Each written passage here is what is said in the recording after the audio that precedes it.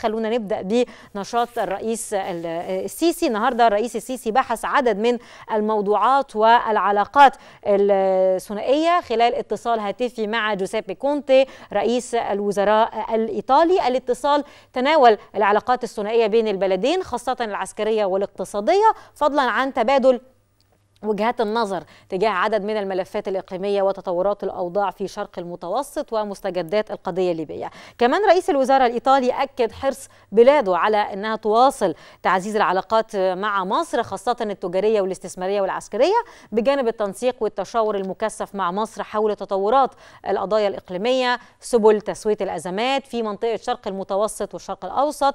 كمان تلقى الرئيس اتصال هاتفي من رئيس جنوب إفريقيا سيريل رامافوزا تناول مختلف ملفات التعاون الثنائي وكذلك بعض القضايا الإفريقية وسبل دعم التعاون الاقتصادي والتنمية التنموي بين الدول الإفريقية. وأكد الرئيس تطلع مصر أنها تطور علاقتها مع جنوب إفريقيا في المجالات المختلفة لأنه بيجمع بين بيجمع البلدين الحقيقة علاقات متميزة.